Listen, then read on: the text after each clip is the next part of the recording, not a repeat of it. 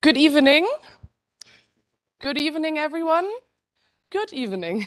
It's lovely to have such a big group uh, to come and listen to Uricatius Cinema 246 tonight with Cristina Gamboa, uh, upon invitation by both uh, Professor Vassal and Professor Bader, who will both start with the introduction. Let me just remind you real quick that uh, any questions can also be posed in the YouTube live chat or the Telegram channel that will be read aloud. Uh, after, after the lecture, there will be room for discussion by anyone. Just raise your hand. We will pass around the microphone, um, and we hope that everyone uh, will enjoy the talk. Thank you.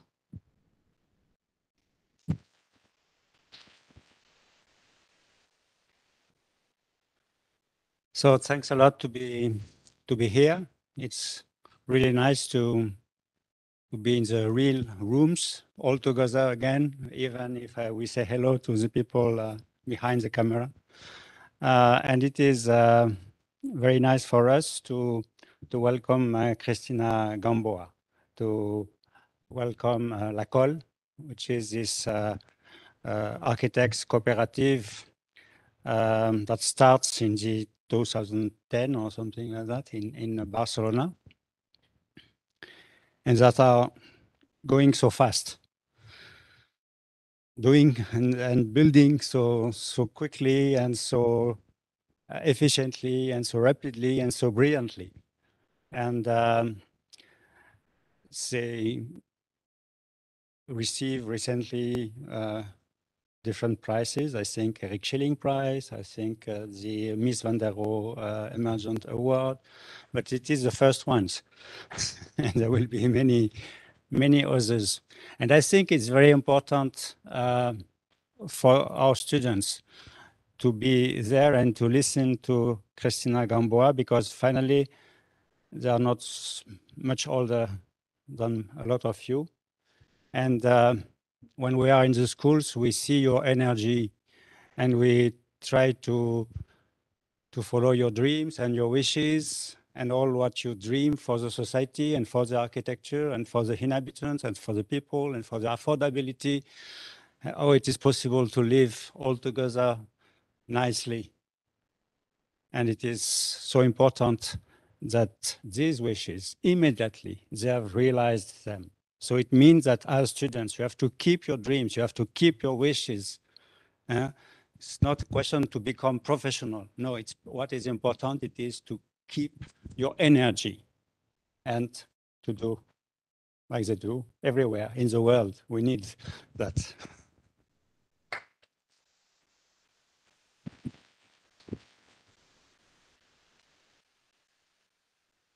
Well, uh, also from my side, welcome, uh, Cristina.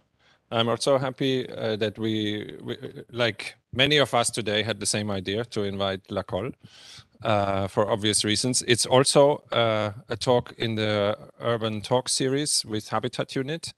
Uh, and we welcome everybody from TU as well, from across the street. Um, it's done together between Anna and Christian behind you um, and myself as organizers. Uh, usually we sit in floating on Wednesdays, but now we're here on Tuesday. So it was uh, a super beautiful link between all of us, uh, writing emails to Lacol. Uh, that you, thank you, thankfully you answered with a yes to come here. Um, and there's not much to add to your very beautiful, uh, encouraged introduction. Maybe uh, a few words about Cristina. Um, she's an architect and teacher. Uh, she studied at ETSAB and the University of Stuttgart. Uh, so maybe there was also an Erasmus in there. Um, and is co-founder of LACOL, uh, where she focused on developing cooperative housing projects. Uh, she currently teaches uh, also at AA and at ETSAB in Barcelona. And what I think is super interesting for me and where I bring my curiosity also from my collective practice is uh, how can you do these architectural adventures um, in a collective practice, but also with a collective output in a way, because uh, I think that's a very rare undertaking, and I'm very curious what we can hear today. Thanks for coming.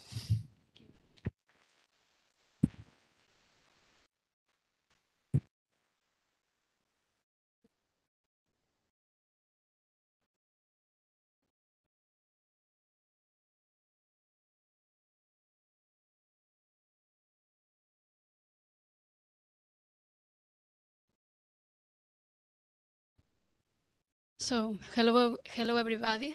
Um, thank you for the, the introduction to both of, of us, of you.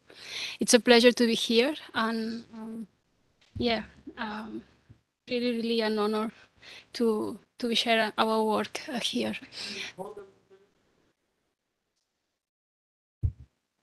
Yeah, I can try. I can try to speak louder. I yeah, sorry, my voice is kind. So I will try it. I don't. I will try it. So. Ah, okay. Okay. Okay. So yeah, I was kind of th thank you very much for inviting me, and I will try to speak loud. I usually like I'm quite shy, so probably you have to advise me in a certain moment if I'm just kind of going uh, down. So basically, um, community infrastructures. I will explain uh, how we how we understand it. First of all, just to say that I'm kind of voice today of La. Um, I saw also my name in the poster, and I think that it's kind of uh, collective work. We are a non-profit cooperative of workers uh, founded in 2014. After uh, also some years working and sharing a space uh, together. And basically, Lacol is as kind of a consequence of a specific moment in Spain. So we finished our studies in 2011. So in the middle of the economical crisis, where many of our colleagues were leaving uh, Spain to work uh, in Switzerland, Germany, many countries, and also in a moment where architecture was kind of being involved and part of kind of this kind of machine of um, speculation and also kind of the housing uh, bubble. So it was kind of an opportunity to redefine the, the role of the architect uh, in our environment and also an opportunity through working together to sharing skills and knowledges to become kind of a stronger and being able to remain in Barcelona. So uh, basically, this has been an organic process. So we had no idea about how we organize we had no idea about which kind of projects we will um, came uh, on the way. Basically, we start, um, as I was saying, as students, and many of the projects that we did at the final, kind of the final project, our studies was in relation with the surrounding, with the neighborhood where we were based, and which was kind of the starting point. Now, uh, almost uh, eight years later, since we um, constituted the cooperative and started with professional work, this is a bit kind of the mirror of how, how we are working. So we are 13, as I was saying, co-founders, but we are working in between kind of uh, an area which we call it like just kind of the, the build area just to, to the design and construction of certain of, of cert, some of these infrastructures, but it's totally linked to an area that we are kind of we are kind of sharing in the in the office, which is called about kind of how we can push these projects, how we come to promote promote understood as a way of under, and sharing knowledge, the pedagogy, certain tools such participation, housing policies. Um, um, even uh, being involved in energy transition initiatives in the city. So this relationship between ways of organizing and articulating with society and also intercooperation with other stakeholders as part of the way we work. It's also as a reflection of this um, different uh, interest, different um, specialities, and as, as, as, I was saying, skills that we share the different uh, members uh, of Lacol. And basically, last year, we were kind of thinking about what we have done and what we want to do. And we arrived to this kind of sometimes complicated uh, sentence uh, or kind of words that we work to generate community infrastructures for the sustainability of life as a key tool for eco-social transition through architecture, cooperativism, and participation. And uh, basically, we understood this idea of uh, community um, infrastructures as basically kind of devices, um, institutions, uh, physical and non-physical projects led by the communities that basically we saw a potential to implement certain new practices uh, to be more sustainably, socially, environmentally, politically, economically. And that's why we understood architecture more as a tool, as a, as a process, uh, not that the final outcome. So that's why we think like architecture is part of this process through social economy, so through cooperativism, and the participation that it's also quite um, complicated word, but basically with communities, with kind of the existing networks. And this is something that basically we learned by Sants, by Barcelona. Barcelona, it was an industrial city with a um, huge heritage of a strike and political action. And basically, we are based in Sants, which is uh, in the left part, which was kind of this industrial area in the outskirts of the city center, like the historical city center. So this was a neighborhood that uh, was born with industrial uh, activities. So the neighborhood, the people, the, the housing uh, and the neighborhood in a way arrived later as a workers' neighborhood. And with this activity also, the different uh, organizations from the workers arrive. And this is an image from La Lleialtat Santsenca, a cooperative of consumers that was established in the neighborhood. So basically, um, we understood that uh, with this heritage, that a cooperative is basically a structure, a common uh, own structure that uh, it's a way that we could collectively fulfill certain goals or needs. In that moment, it was a moment where it was really affordable to have food. So basically, this was a cooperative to collectivize the provision of food, but basically it was after that also a way to understood the way to provide collective funds and became certain institution that was kind of even providing a welfare um, policies helping unemployment people, uh, unemployed people, but helping workers when they were struggling and a strike, doing strikes. Also um, uh, education. So finally, a certain uh, identity, a subjectivity was born through that moment.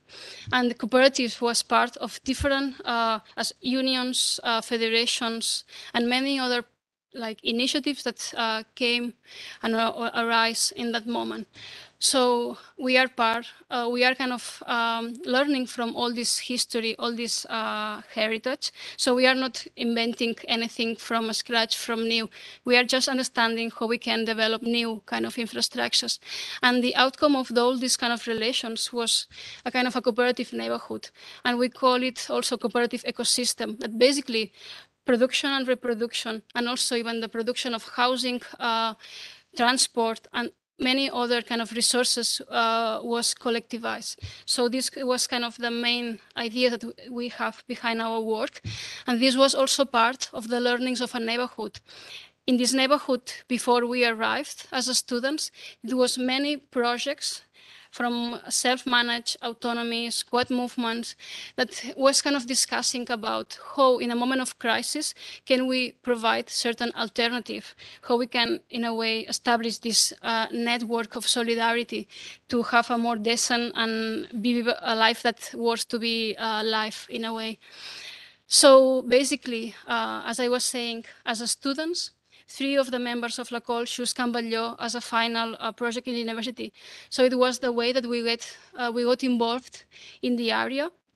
We start knowing the neighbors, the struggles, the history uh, around this uh, area, and sometimes uh, we used to know talk about social innovation, but it was precisely because of this history, because uh, it was a place that from the 70s was supposed to be green area and facilities for the neighborhood. But in 2011, 2012, anything was done.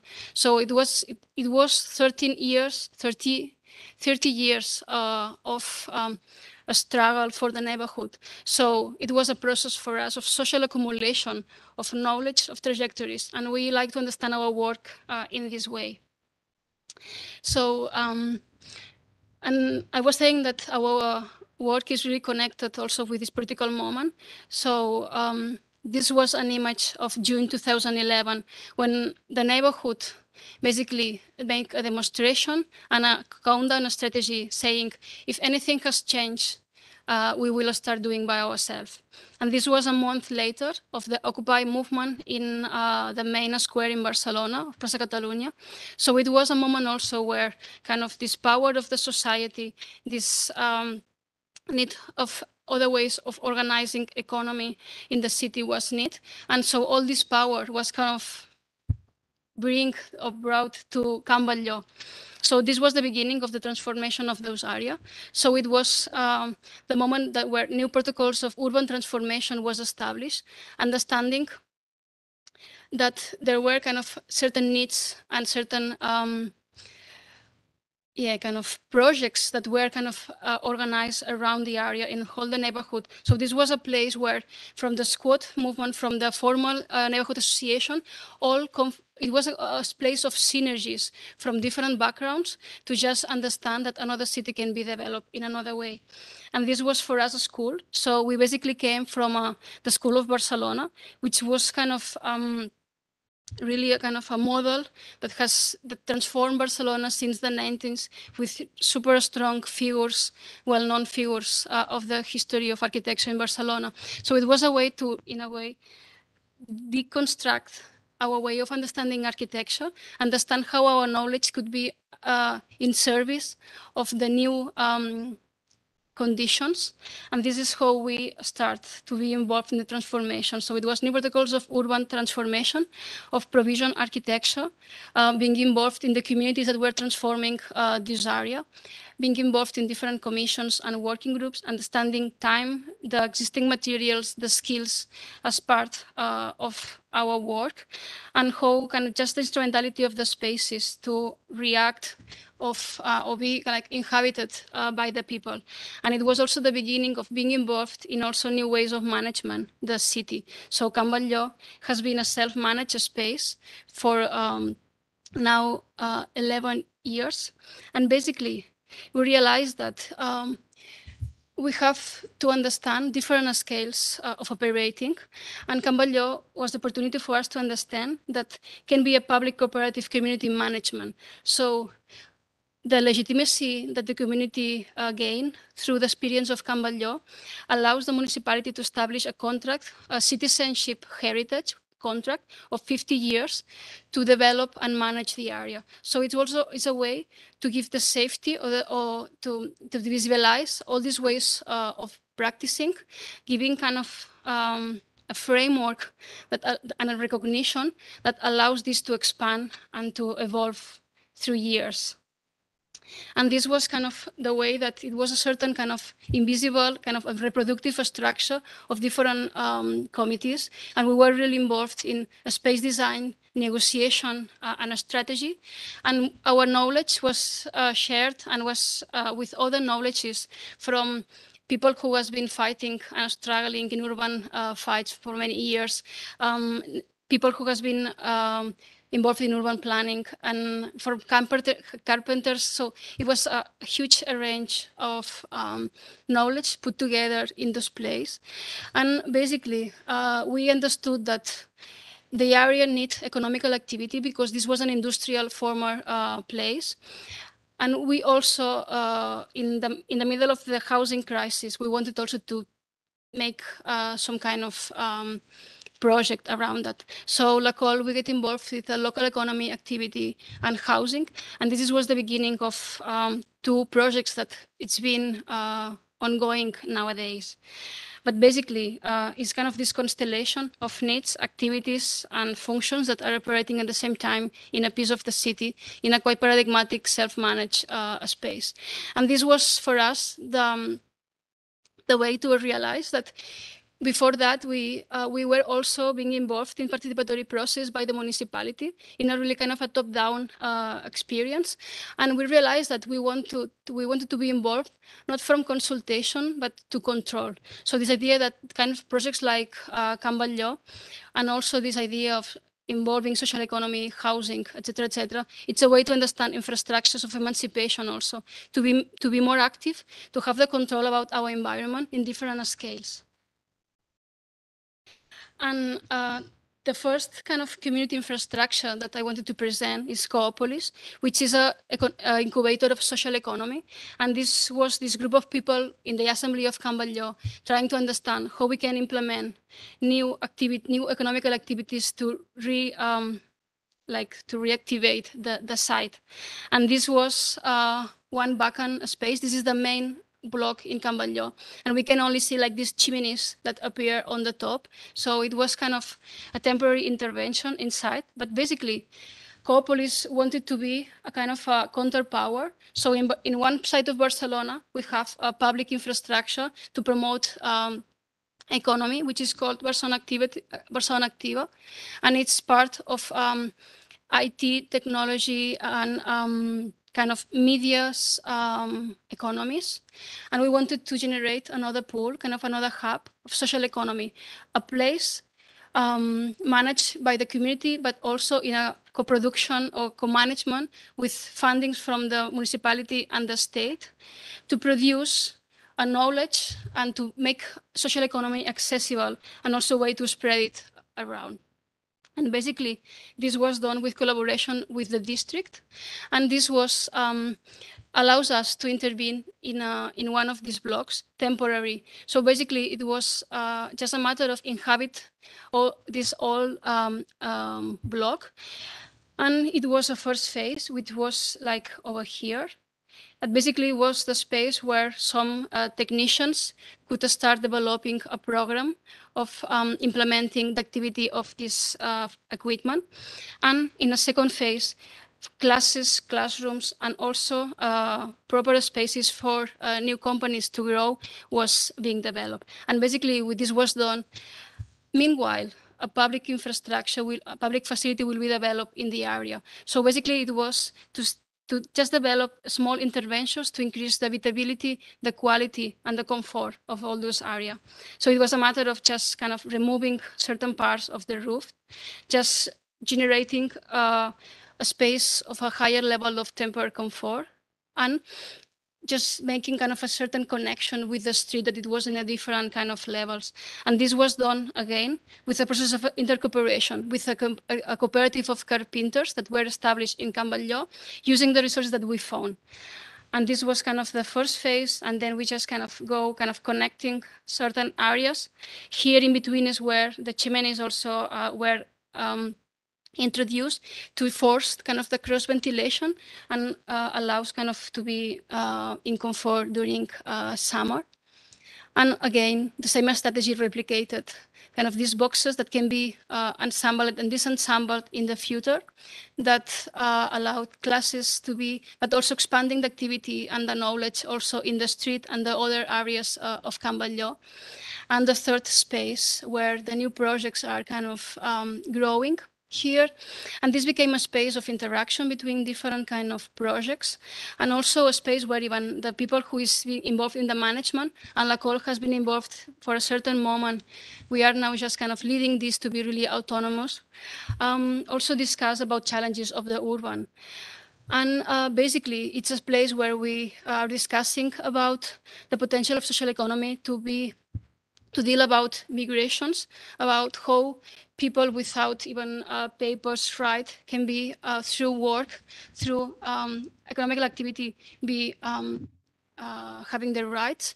It's also about housing, and this is also a space where now we are discussing how we can replicate also co uh, cooperative housing, but also discuss about energy transition and how we can also have a social economy hub of energy transition. But this was an activity or kind of a, a device that was kind of tested in Can but with this process of uh, discussing with different scales, the Catalan government uh, was kind of giving funds to replicate it with different agents, with different networks in different territories of Catalonia, with the idea of spreading um, the knowledge and the tools and giving the people uh, the possibility to implement different kind of projects following this uh, cooperativism uh, model. So it, it, was basically not to invent anything, just to make it accessible to the to the people and understanding the effects that could, they could have uh, in the in the in the surroundings in the areas. And this is something that. Sorry, Oh, Put the, no, no, it's all fine. It's just for the video. That, that happens in just a second. We want, uh, we want to share our computer only for the online people. So, Uwe. So there we go. Thank you. And part of part as outcome of all these interrelations between um, different um, cooperatives, but also different agents, a project came. It is La Comunal, which is, is where Lacol is uh, also. It's where we where we have our space nowadays, and basically. This is a second level cooperative. This was an initiative that emerged when many of us were kind of looking for a space basically like all it was a kind of a real super small uh, place in the ground floor is one of a street and suddenly many other projects were looking for place so basically we realized that we can look for a place together kind of sharing also some kind of infrastructures but also provoking also uh, a sharing process that also allows us to strength and even to scale projects or emerge new projects from all those relations. And this is kind of the beginning uh, of La Comunal. And La Comunal, it's interesting because it's it's developing a private uh, piece of the city. And also it's interesting because when we are facing kind of a process of gentrification and a process of speculation, it's also affecting not only the housing, but also even the productive activity, the activities in the street, in the city. So it was also an opportunity to develop a piece of the city that wants to be accessible for many projects and wants to be open to the surroundings. And basically, this was possible because this was a protected building where the private uh, owners could not develop housing, could not demolish and develop private housing. So we took this the, the opportunity to propose them a project, and we had to deal with kind of these strict conditions of the place. So the main blocks that uh, well there is kind of a small house from the director of the formal industrial activity. These three blocks and one fourth in the other street were totally protected. So the only thing that we can intervene is in these in-between spaces. But the, the thing it was that it was basically a really flexible and adaptable uh, infrastructure. So it was just a matter to add certain services, the stairs, the connections, to generate this kind of uh, cooperative, uh, this cooperative space. So it was again this idea of understanding the resources, the site, the existing condition, and adding this at the same time bioclimatic uh, device because it is a place with uh, huge buildings, uh, quite tall buildings uh, around. So the sun is not arriving most of the time in during the year. So only in the roof we can a bit of uh, it. So it was also a process, a, a place where we can exchange the air in summer and winter inside, and also space of interaction. It was the stairs, the services were uh, there, and it was basically. Um, a matter of understanding these different layers of the of the of the place. So this kind of fixed structure these in between gaps where we can intervene and then a series of different needs based on the different users. So we also establish a certain architecture of the participation of the different projects uh, in the place to define finally in the place the needs understanding of, of the area and the proposition. And from outside it's basically the existing building without fences, making kind of the, the street kind of more um, uh, generous and establishing this diagonal with a new courtyard, a new even a square that uh, we wanted to create to provide a space for the for the neighbors to meet to and also even certain infrastructures to use it. And this was outside with all these restrictions this idea of connection with the street that it's always open this multi-purpose room and also how these kind of new devices were kind of arriving here where we can uh, see it. And this was the space where we can just basically intervene really rough roughly like no conditions no protection and just kind of uh, this new language of the, something that really simple um, just this kind of technologies, certain language of what it was uh, existing, understanding the construction and following the pattern of the of the windows, doors, etc., etc. And inside, basically, just uh, updating the tech, the techn technological uh, equipment and leaving each use to fulfill their needs and the appropriation of the space. And this is an image from, from Lacol. So basically, this was kind of, for us, this idea of community infrastructures, but basically projects led by the community uh, in different ways. And basically that remains in the place for a long time to really have the opportunity to develop and, and have an impact. So all those learnings would in parallel with this work with housing. But housing, as we understood also as cooperative housing, it was part of these infrastructures that we were kind of providing, these devices and these policies that can be replicated. But why uh, this struggle with housing? Because basically we are in a city that we only have 1.52% of social housing a city with uh, a huge pressure of international funds uh, and where the individual ownership is kind of the base. It's a cultural matter since the, the, the dictatorship. So it's provoking also. So the we have no public tools, mechanism to control the prices. So this is also provoking.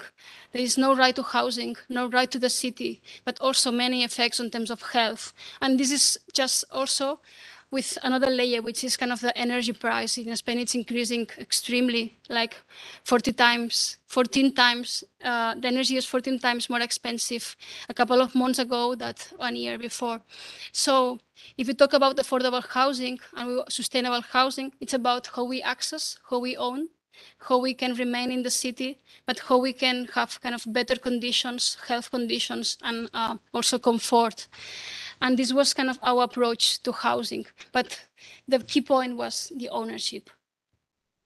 So again, it was to this relation with Can Batlló, this uh, with this kind of experience of self-management, of looking for alternative, and this was uh, initiative that it was totally uh, instigated by for the citizenship, and trying to understand where in between the state, the market, and the community, we can provide this kind of third sector um, model in Spain, something that it was existing in the 70s, but during kind of 80s and 90s, it almost disappeared. So we had again to introduce practices and ways of organizing. And basically, um, this kind of new model, and we call it new model because in the 70s it was a lot of construction, constructions of cooperative, so cooperative of construction housing. But once the housing was completed, the, the ownership was divided, and each inhabitant were the owner of their flat. So the potential of keeping a collective ownership and also keeping a kind of a, structure that allows the management of the resources was essential. So this was kind of the, the model, a non-profit cooperative based on collective ownership where the inhabitant is member of the cooperative, have the control of it, but has only the right of use one flat. They cannot exchange and speculate uh, of it. And also this was producing this non-speculative effect, these projects that are led by the community, affordable, inclusive, or trying to be as inclusive as possible through time, sustainable and replicable as part of this idea of making social market or producing social economy. And of course, this is something that, again, we are not learning uh, or we need to learn about experiences.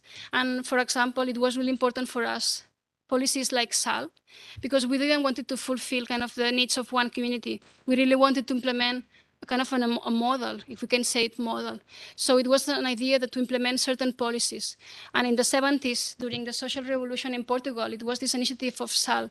So it was a moment where kind of the citizenship took um, were involved in the development of, of popular housing, and it was through a multidisciplinary uh, organization of teams. And this was basically involving different methodologies, but also understanding the details, the labor, the circular economy, a kind of co-labor and economy was part of all these processes and the effects on the surrounding. And at the end, it was a matter of generating community. So much more than the interesting or beauty projects from uh, Siza, for example, all this ecosystem, all these protocols were uh, really interesting for us. So with, this is the assembly of La Borda. So La Borda was our first approach to collective housing and was possible because the collaboration of the municipality. So it wasn't understood as a pilot, a pilot project, So the municipality established a leasehold of the land for 75 years to the to the community because of the leg legitimacy of Can Batlló and because it was this need of establishing new kind of alternative. And this was how we could develop this project. Otherwise, with the pressure of the prices in Barcelona, it would be really, really difficult. So, and in this moment, with uh, kind of all these um, experiences of organization of understanding this relation between the model and the architecture, we established this relationship. So it was a self-development project where we know the where we knew the user and we could involve them um, in the discussions, in the in the decisions, from the design to the control and management, and also the management. It was important to establish certain strategies during uh, the project. This idea that the community wanted to have certain interaction. So this allows us to redefine the collective housing program program. This idea of the collective ownership as a way also to understand that the house is the building and it has to be flexible and adaptable and also following Habraken uh, this idea of an open uh, support and an infill. So generating this open infrastructure, this idea of sustainability and comfort, which is also related with awareness, with uh, pedagogy, but also with an active user in a passive strategy. And also that we realize that the needs and the the um, the, the a developer wants to reduce the cost of the construction. But if you are going to live there you really want to reduce the cost of the of the of the inhabit the place. So many strategies maybe it was all this discussion about the cost in the beginning, but also kind of the effects of, uh, after after the construction during the lifespan of the building, and affordability, which was kind of a key point, and we understood as also as part of these opportunities to redefine uh, the architectural design. So it was essential to establish strategies of reduction of cost, simplicity, phases, but the, the most important part, like challenging also the standards of the housing uh, in the market. And this was part of a series of discussion that took from 2000, 2012. It was it, it was when the project emerged with a really kind of a small assembly, and then being more complex in terms of organization. And in 2014 is when we started the design. So all these discussions about architecture were developed in parallel with the legal and financial development and also this organizational development. And basically, we were always working in workshops with the General Assembly, with the, all the people in the, of the community, but also with the different committee groups from financial, legal, community, co conviviality model, uh, communication, uh, and architecture that we were kind of it was kind of our link to the to the community. And i think that through this process we really managed to fulfill or to challenge these standards so through these conversations. And because we know the users we had kind of the opinions we also um, it was also possible to arrive to municipality and said we want to make some change. And this was so the process was a key point uh, for us. So again so this idea of methodologies tools the language the way we explain we, we make accessible and we keep we we uh, have information about the users with different surveys and mechanism to understand the diversity of the users the situation.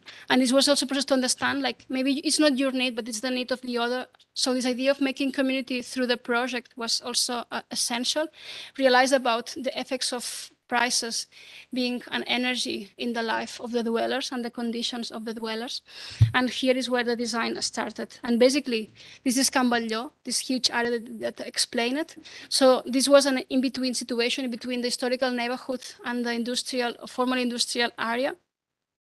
And as part of the understanding of the program in the building, it was part of understanding that there are different levels of interaction, different facilities in the neighborhood and in the area with workshops, libraries, etc., etc. So, which kind of needs we do? Which kind of common spaces do we need? Because we don't want to be isolated. We want to be complementary. And here is how the discussions about program started. Also, understanding that we had we had a fixed number of square meters and a fixed number of total amount of units. So if we wanted to, to introduce the community areas, these common spaces, it was in relation also how, with the units. So it was a matter of understanding how we can collectivize certain services, how we can understand the needs of the equipment inside the unit, and how this change from just kind of the stairs or certain, certain kind of um, common areas as a circulations through a continuum from circulations, installations to common areas and housing. So this transition from the public to the common to the private was part of this process as also a way to organize the program in the building, open a, a public passage that connects the historical neighborhood with the, the, the future park of Can allocating the common areas in the ground floor of this transition, but also giving a cooperative of consumers in the ground floor to also give activity to the, to the main street. And in the second level, we see this kind of multi-purpose room also as a way to organize a program with different levels of comfort and understanding also that we have different configurations that we will see also as part of the environmental performance.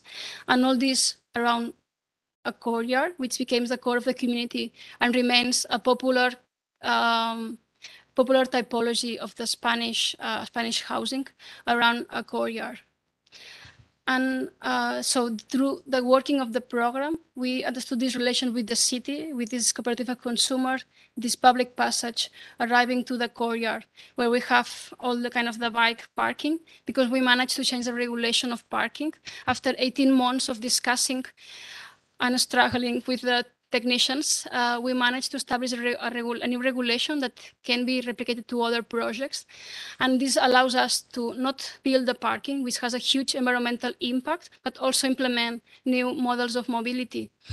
And um, this was also a strategy of uh, saving money. So we had a small budget, so we will we wanted to invest it in the quality of the units instead of a huge concrete uh, underground uh, floor and basically from the courtyard to the common areas, this uh, kitchen linked to the, um, and also this multi-purpose room that was kind of allocated uh, in the first floor with these stairs that arrive to the guest room and this unfinished uh, laundry.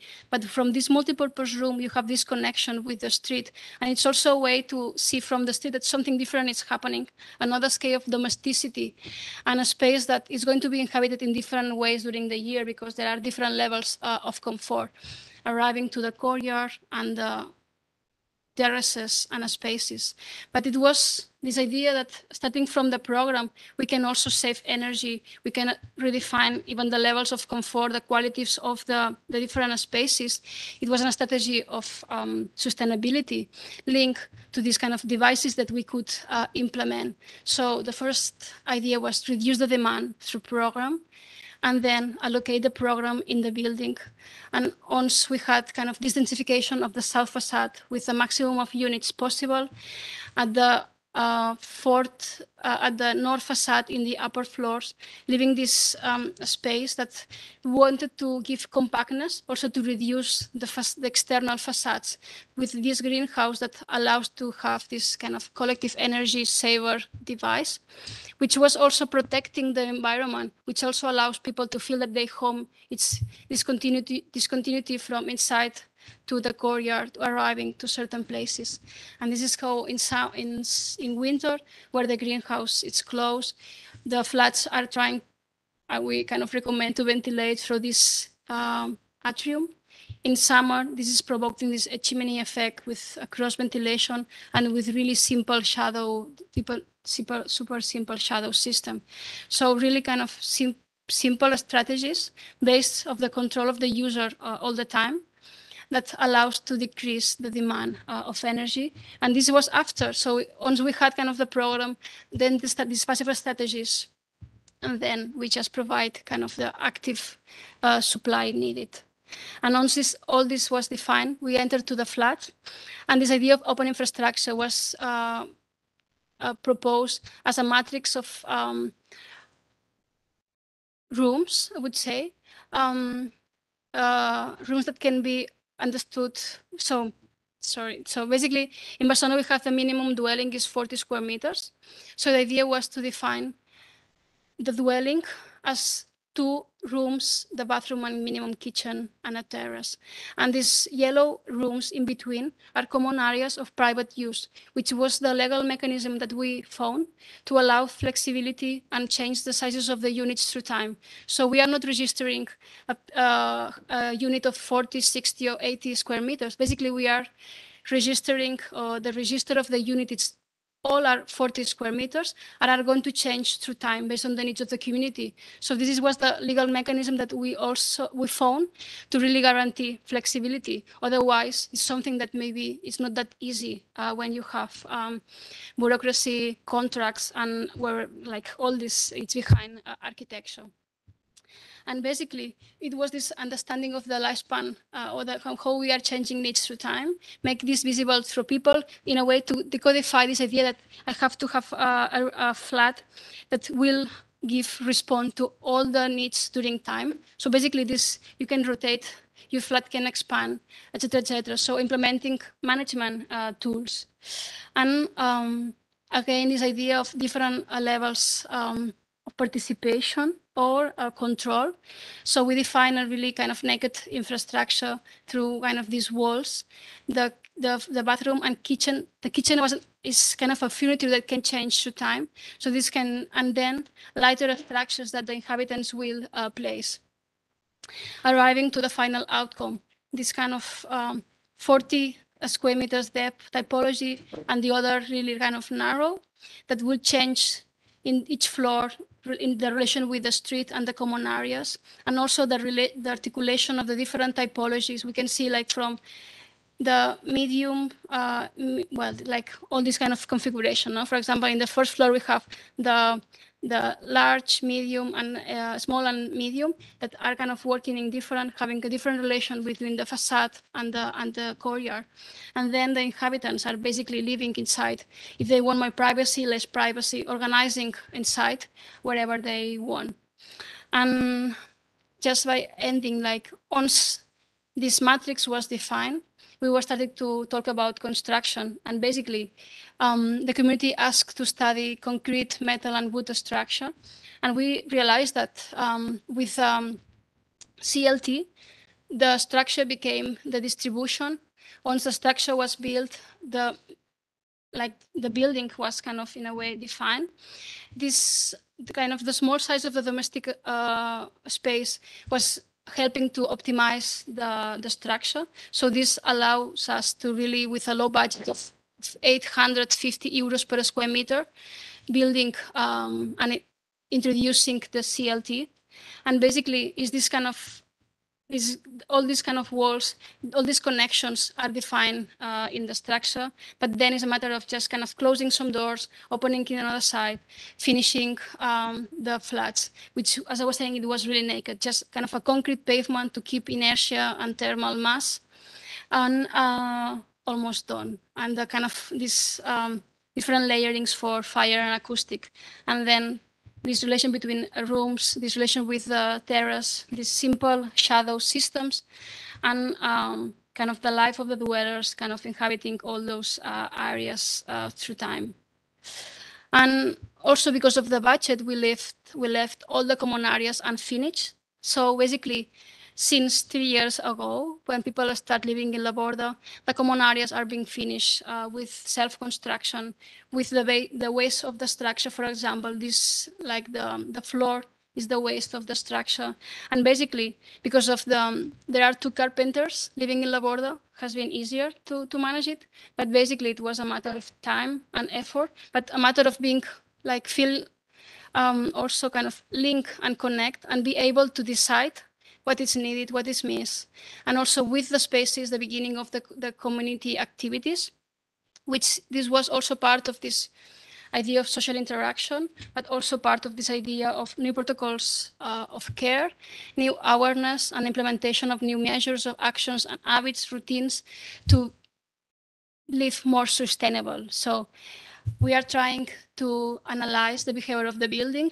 We are giving a kind of an annual report of the environmental impact, understanding how we are reducing, but how we can even improve the like the behavior and like the temperature of the washing machines. Uh, so kind of simple things that um, this kind of collective structure allows to to discuss uh, and to implement.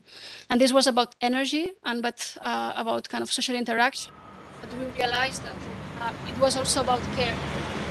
And this was when COVID arrives so it was also a moment when we find the own to care. but also the infrastructure was used as we never thought. These spaces of interaction between the street, the units, the common areas were kind of full of sense. And people living in La Borda will feel privileged to have implement a space of for caring kids together, um, of socializing, of uh, giving mutual support, and um, to understanding how they were feeling, how we can help in this kind of situation. So sometimes people say that they implement La Borda or they kind of promote La Borda in an emergency housing situation or an environmental and housing situation, but never imagine uh, a COVID to arrive. So it was interesting to understand how we can also understand household in another way because in Spain we were in a strong lockdown inside the family structure, inside the unit. So here they understood the household in a more complex way, full of different kind of singularities, um, negotiations, and basically La Borda became king in a certain moment, a concert hall, um, um, a school, and uh, many other kind of uses were kind of emerging uh, spontaneously.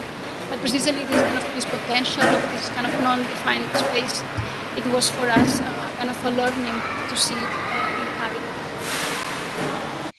And um, basically, as I was saying, La Borda was a pilot project.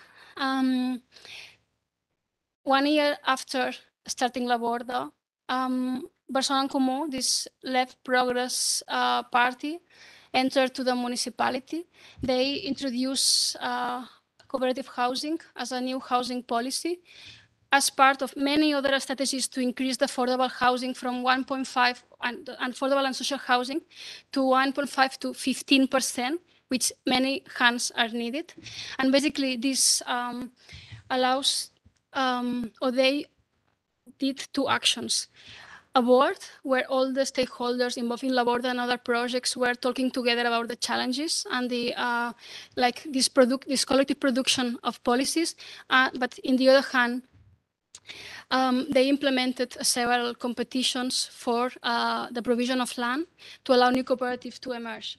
And basically, um, Cop de Fals was the first kind of iteration. This idea of the same principles developed in a new uh, plot, and this was a, we didn't uh, we didn't win this, but it was the opportunity to start redefining what was like crucial uh, of La Borda, and this was in a kind of a specific place next to the highway. uh. So the idea of pollution, noise, and this kind of really kind of um, dichotomy of the plot was essential to understand the role of the circulations. So suddenly we understood the environmental performance of the building, the environmental strategies link to the role of circulations and common areas, understood in a, in a way of layering the building from kind of um, really kind of neglecting the relation with the behind and open the building uh, to the south, to the to the park, and this was a, the first time that we proposed to put kind of the circulations and next to the terraces in the most privileged area. So instead of putting it in the kind of in a, in a place where just kind of a matter of circulation, we give it the, the best uh, place. And this was a matter of understanding these sequences of a terrace, um, a gallery, kind of a greenhouse, and also the units, but then this kind of a small courtyards that works as a as a way to provide clean air from from from below from the from the park. So kind of a machinery a way to understand the fluxes of air in the building arriving also to organize um, kind of a non-defined ground floor that could allow to have parking because in that area it has a sense, but that also could be understood as a common, a common area. And then this matrix of spaces that can be organized with different configurations, even in a kind of a cluster living where a corridor became a room that can interconnect the different places. But this idea of the common areas, the circulation, and the, the environmental kind of performance was key but we didn't uh, won that. We didn't win that. But La, La Balma was another land that the municipality put uh, in the provision of cooperative housing.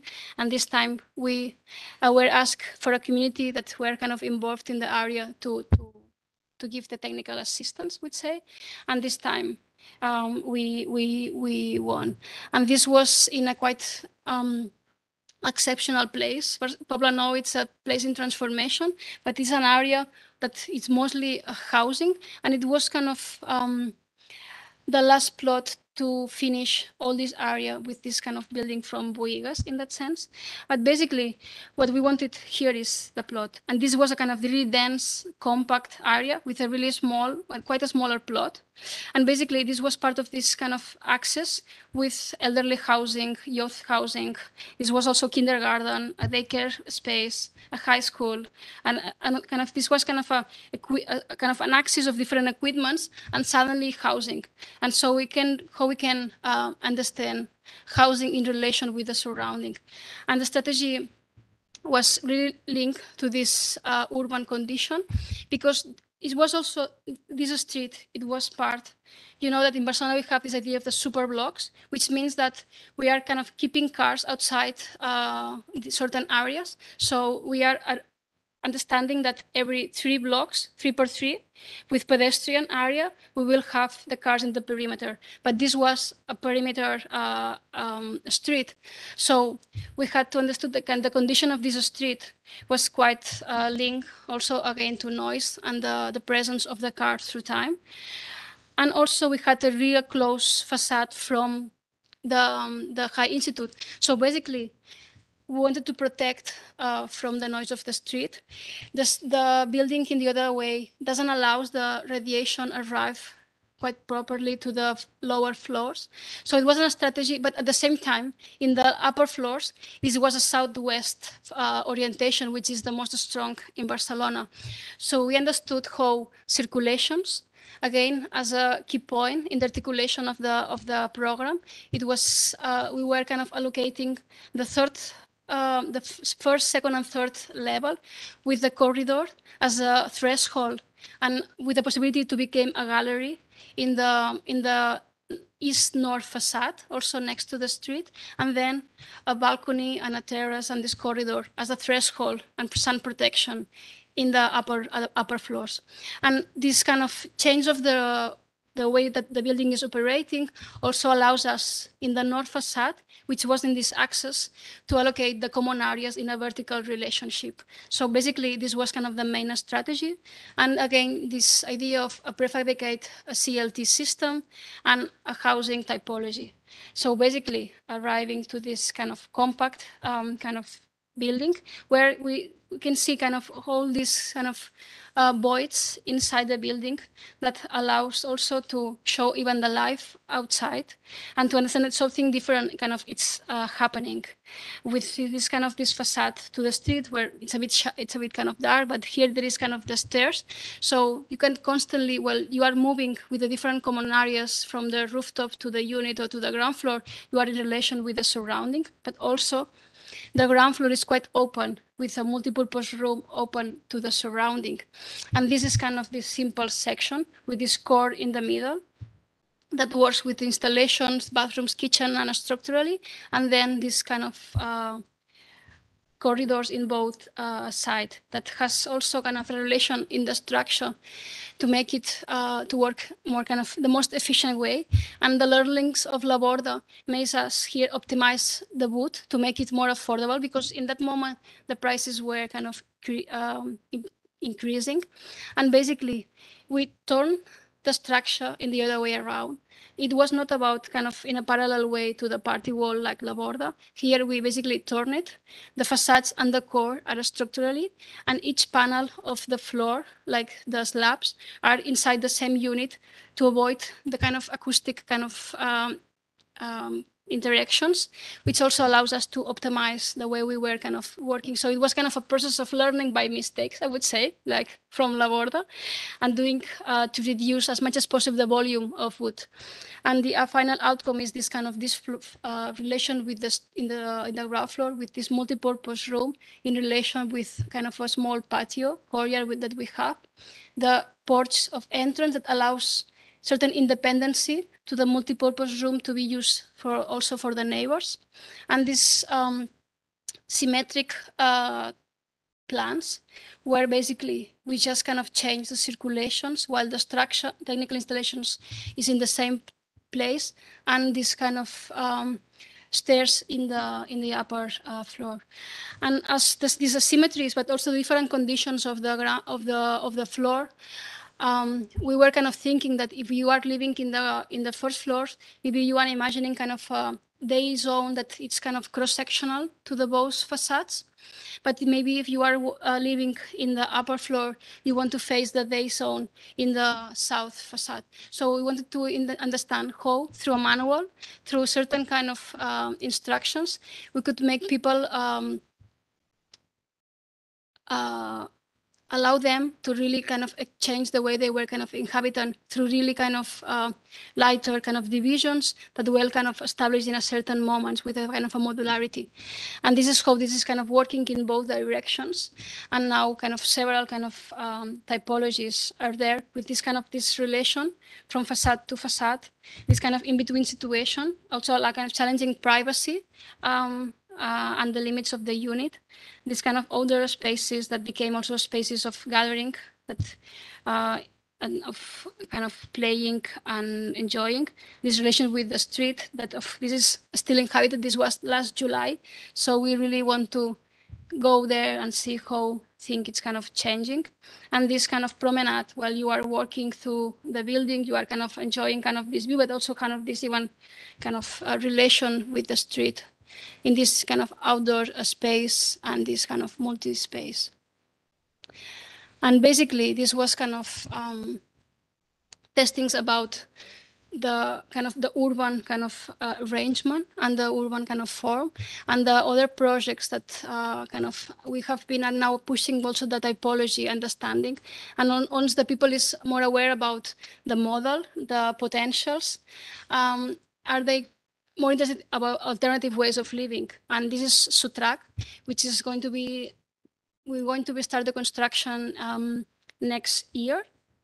And basically in that sense here, basically we kind of democratize the south facade. In La Borda, we have these 20, 24 units in the south facade, four in the north facade. Here we wanted to just give everyone a relation with the southeast, southwest facade with a typology that works quite similar like La Balma with this kind of learnings and kind of iterations.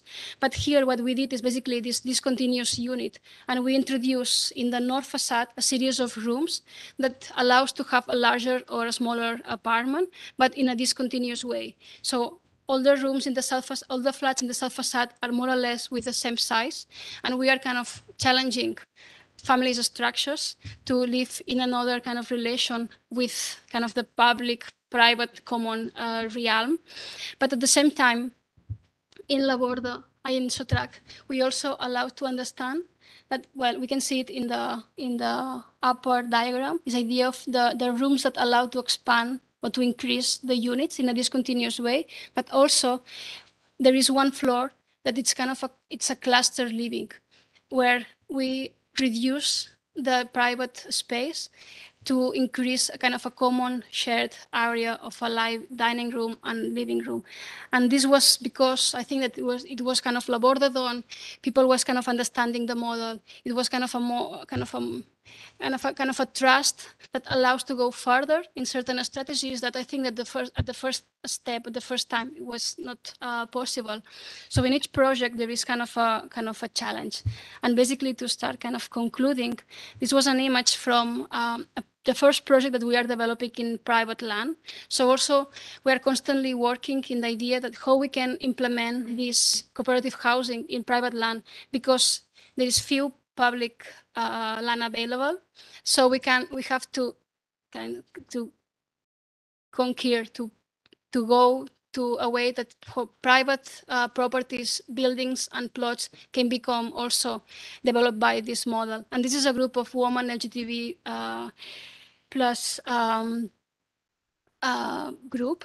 And it was also um, a way to understand kind of the needs of them, the way of living, how they are also kind of struggling in different kind of direction, where the condition of family, um, the condition of the individual's uh, the identity, it's kind of uh, redefined, where they are kind of pushing or imagining new ways of caring where they were aging because they are not having this kind of the structure family to support the care. And basically, it was also a matter of understanding, again, this non-hierarchical uh, typology that can be changed through time if they need more assistance. But at the same time, it was a discussion about the levels of privacy. And here, the idea of the own room, like Virginia Woolf, this idea of like the intimacy, the space of kind of um, freedom, also of protection was really present. So it's in the other way around and almost in the facade, in the most kind of um, separate areas we have kind of the individual rooms and the kitchens and kind of dining rooms are these spaces in relation uh, with uh, with the with the corridors so this sequence especially in the middle we can see like where the spaces of interaction we can see the kitchens and then to go into the most private uh, space. As part of all these discussions about um, yeah. The idea of even pleasure of gathering etc kind of discussions that were not emerging in other cooperatives and it was present uh, in this one. So as i was saying no, this idea of same principles more variations from La Borda la Balma, and the municipality uh, also did a second competitions and a third competition and this allows us to understand kind of different configuration, new challenges, scaling up a bit with kind of bigger blocks and continue working to make it affordable, inclusive as a model, as a system, as a kind of architectural um, design. And um, this is in parallel to defining also certain um, structures to share the knowledge. And we understood that we don't want to grow as LACOL itself. We want to understand as an ecosystem. And we are funding kind of different projects to, to um, in a way, expand all these kind of devices and mechanisms. And basically, this is La Dinamo. It's a foundation to promote cooperative housing. And this is kind of an autonomous uh, initiative that basically works for replication, for policing, um, for uh, assistance to group, of systematizing uh, knowledge, making affordable, kind of this idea of like, we don't want to keep the knowledge. We want this kind of just to, to be shared and to be expanded and uh, basically to understand that we are living in a certain condition. So we have to understand how this can become, um, how we can kind of deal with different situations through creativity, through tools such community land trust and other ways. So also the agency of the architect and our agency has been linked also to imagining this way of reappropriating um, the city and giving response to the challenges. And the next step is how cooperative housing is being involved in an energy transition. But this, I think this, I will leave it because I've been talking a lot. But basically, La Borda, it's implementing an energy community. And we think that uh, we have to manage the resources collectively. Otherwise, it's impossible to to have certain kind of um, energy transition. So we are trying to understand the like how the models of governance, how the pre-existing uh, projects that we have been involved in labor and in the neighborhood, how the relation with the municipality, universities, and communities can to can explore kind of uh, an, in a in a bigger scale of a management in terms of neighborhood and how we can understand these fluxes of energy, care, uh, uh, waste, water, etc., uh, etc., et because uh, we have to um, understand this kind of these new kind of cycles and how we have kind of the, the existing resources um, there. But from this, we are again working in a kind of a network of engineers and other stakeholders to scale uh, all this initiative. But these are kind of just challenges and ideas uh, that we are working with, and I think that we can leave it here. Thank you very much.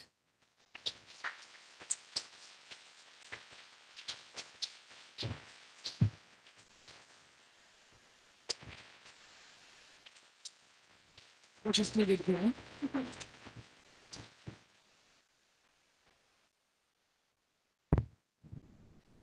Thank you very, very much. Good morning. The lights are back on. Uh, we are starting with our discussion round. And as per usual, we're starting off with a question from our first year, straight in the back.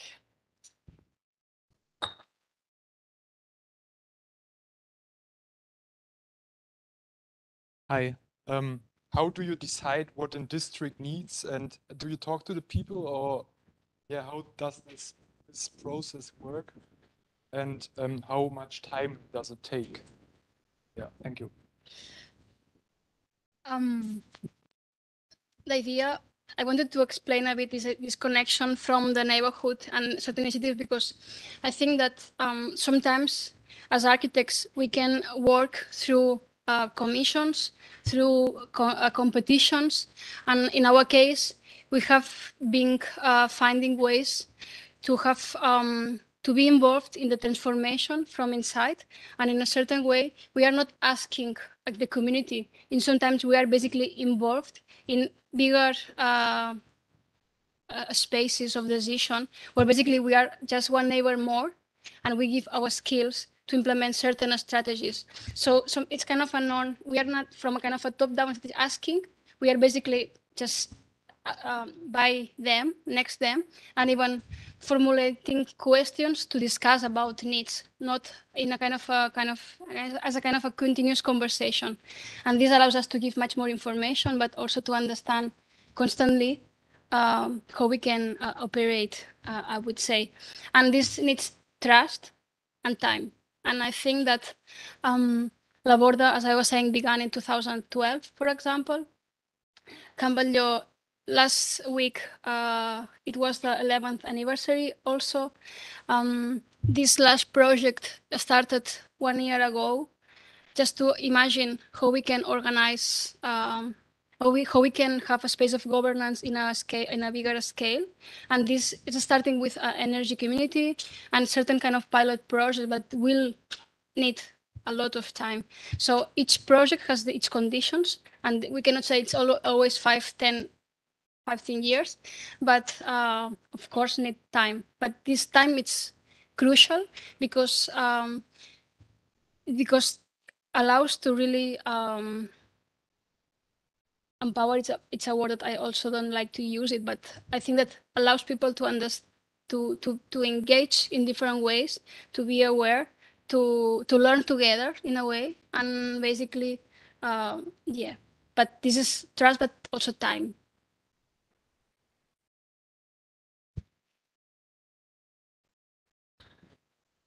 Um, so when you develop a site which has existed before, do you um, keep the history of it uh, like very much in mind, or do you just see it as a shell and go from there on a completely new path? Can you repeat it, please? I, could, I couldn't hear the first part. Um, if you develop a site which has existed before, do you um, keep the history of it uh, in mind and keep it as a key element, or do you just uh, see it as a shell and go from uh, there on? Well, I think that um, the first two projects that I explained it, like La, Comun uh, La Comunal and Coopolis, there was kind of an existing, pre-exist, uh, kind of existing building. And for us, this idea that the things that are there has a, a huge value, and it's a matter of understanding. It's kind of how it it, how the materiality, um, but I would say that we are trying not to keep it, but to understand how we can interrelate with it, to have also the, and um, it's not also about an it's not also about a kind of a shell. It, I think that it's always kind of a, a relationship, a dialogue with the pre-existence, because it's also understand if this can operate in a different way, it can manipulate it.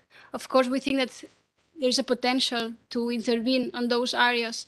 So for us, it's the idea to to really um, have the curiosity to understand all the layers of this existing uh, site place, to then intervene, uh, making the most of the the resources in, a way. But also, it's totally also linked to the resources that we have. Sometimes we cannot intervene. It's just basically add kind of something. Sometimes we can, uh, or or because of the regulation. So I think it's kind of um, it's changing one project to another one, but there is of course a sensibility uh, within uh, linked to, of course, environmental performance, but also to the identity of all those places. Because in Barcelona, we wanted to to neglect the, the industrial or even the workers' uh, heritage. And for us, it was also a way to, to put the value here in this past, in this specific past uh, of the history of Barcelona. Okay. Um, yeah, my question is, um, when you live in these community areas, um, does the uh, privacy gets lost or because I think uh, there are different lifestyles, uh, they are confronted with each other? And what's the experience of these residents and yeah. Yeah. Um, each community defines these different levels of privacy as part of his understanding of the program, the needs, and the in the different workshops, uh, all these kind of discussions appears. So I think that there is no kind of a recipe that you can apply it in every project. So each project is going to be different in that sense, but at least in La Borda, we wanted to understand that it, this it was kind of an open um, community because people can change and the building will be there. So it's not kind of um, something that really specifically done to the the people who is also in that moment. And um, this idea that there are different ways of inhabiting La Borda, it's also present. And I think that the, you can, there is this kind of model of conviviality where, um, for example, every Wednesday, there is kind of a collective dinner there. And in the collective dinner, there are around 40 people uh, organized. When La Borda, there are 64 people living there. So not all the community is involved in this kind of activity. And it's the same with others. So there is kind of an openness of understanding uh, that different ways of living, different needs are kind of coexisting and cohabitating in the same moment.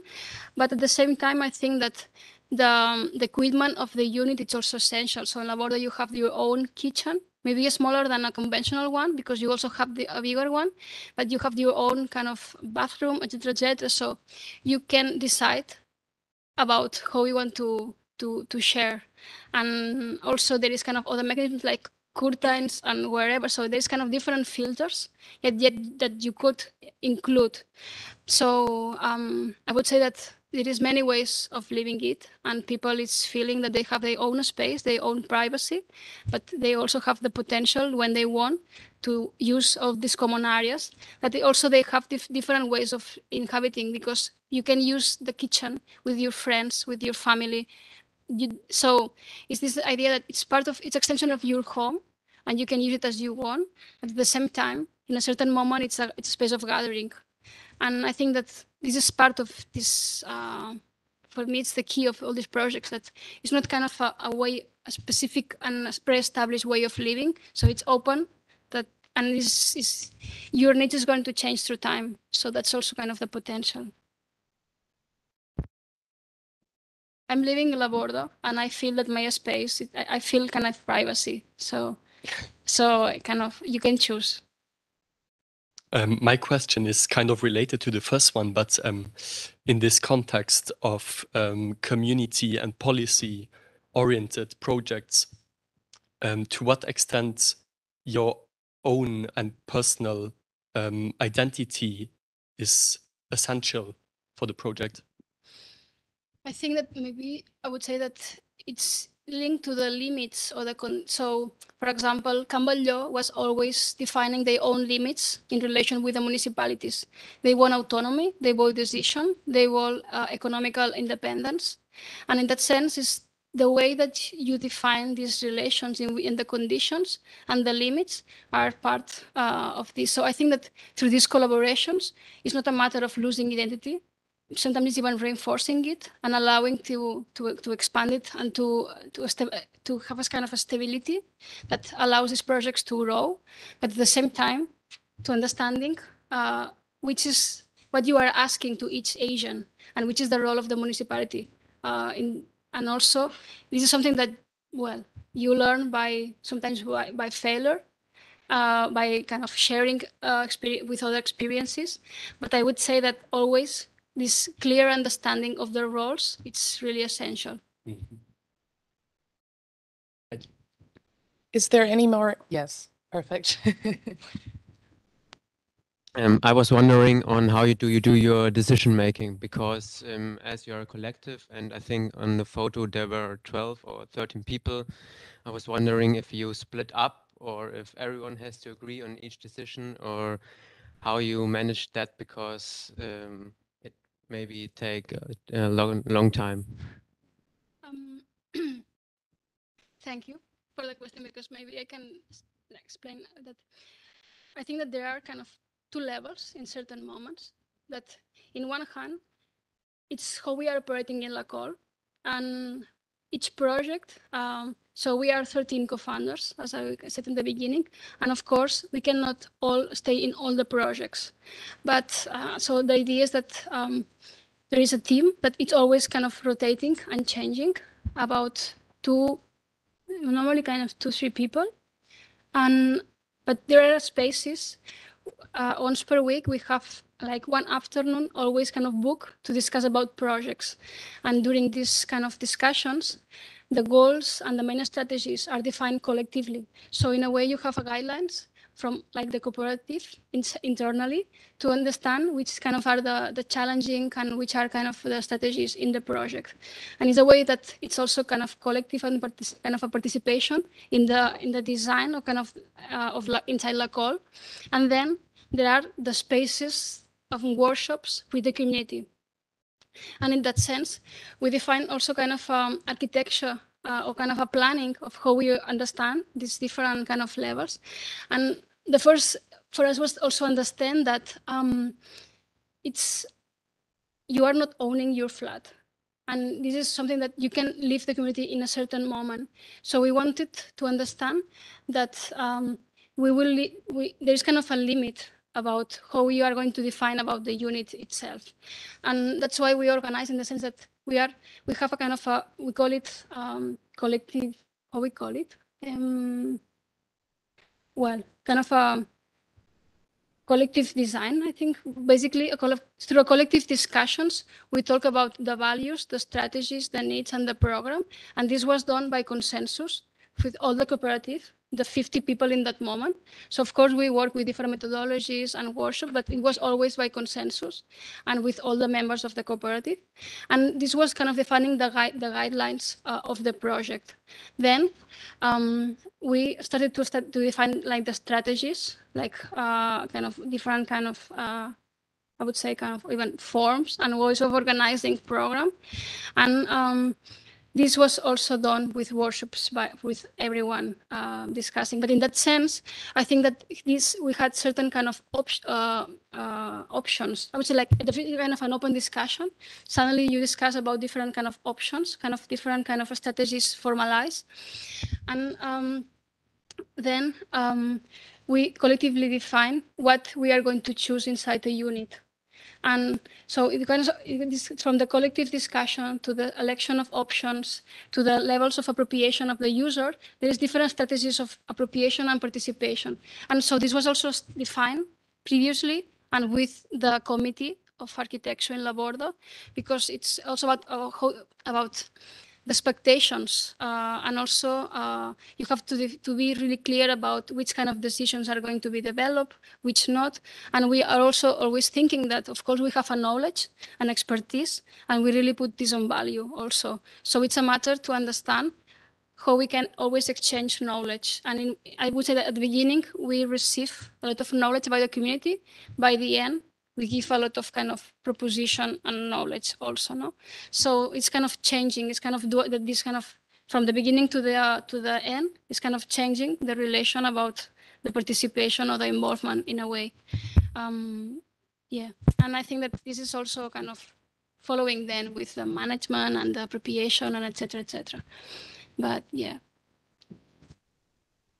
yeah, I was wondering uh, what your studying environment was and when did you decide working on uh, collective? Because um, I mean, I'm working in a very uh, competitive way in my uh, teaching environment, and the teachers really encourage working very competitive and not really collective. So I was wondering, when did you really decide working as a collective and in a collective way? Well, um, I think that um, I said at the beginning, I think maybe it was a matter of emergency or kind of uh, need, but it was um, because we already established certain kind of practices as we share this space, and in this space, as students, basically you have to develop your individual project, but we have spaces of discussion in between.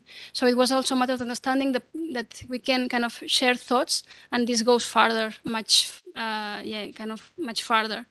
And but at the same time, this idea that um, we were in a kind of shift of the practice in Spain, where kind of bigger offices, uh, kind of really hierarchical in a certain moment, but um, and we had to look for other models. So I think that basically this idea that um, we have, I have a kind of a, a skill that you don't have. If we can, we share it maybe we, we have kind of more potential, no, in that sense, and other views, etc., etc. So I think it was not a kind of maybe a kind of a decision. We are going to work collectively. It was a matter of kind of just kind of doing. Uh, we were kind of just by doing this, and by yeah, but it was kind of the was the need and also no, but it was beautiful because it was kind of a moment crisis. Like I think creativity, it's always kind of a key point.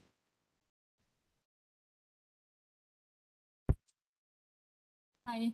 How do you think the role of architect is changing uh, now? And because when I was listening to you, I saw that you not only designed the project, but also beforehand you somehow created some common common ground for discussion. And how do you do it? And what tools you and your office have it in this process? Because I can imagine it can be really hard. I'm always thinking that um, it's not a matter of changing the role of the architect. It's because I really um, love to see kind of kind of many ways of understanding architecture and the practice. And I think it's just a matter of understanding that we can operate from different places with this kind of this from this, as, I, as I was saying, no, Fred, from from administration with specific clients, uh, with um, so I th think that the, the, conditions that we can develop our activity are so kind of uh, diverse. So I think that it's not a matter of understanding that it's kind of uh, the way of practicing. It was kind of another way, as complementary and necessary as much others, and we are always learning from all all kind of our colleagues and presidents. But um, basically, we, um, as I was saying, that we were kind of 13 and with different expertise, but, but we also um, encourage ourselves to even be uh, more specific in terms of the profiles, even to continue our uh, education. And for example, one of the founders of La well, Carlos studied sociology, and others, so it it was kind of a matter of understanding even the needs that we had in the moment and also and working with other people. So it was a matter of understanding how we can have more skills but how we because to intervene in a certain area is not also a matter of an architect. Could be also a matter of um, uh, a facilitator uh, i don't know a sociologist i was saying but other kind of skills. So we are always trying to intercooperate to generate certain alliances sometimes really stable but uh, changeable through one project to another one. And for example, when I was working with this woman uh, cooperative, we were also working with Punt 6, which is a cooperative specialized in gender perspective in housing, because of course it's another that maybe we don't have. So this idea of working with kind of changing all teams, it's also a mechanism to provide uh, all this kind of knowledge. And it was kind of the tool that we are applying.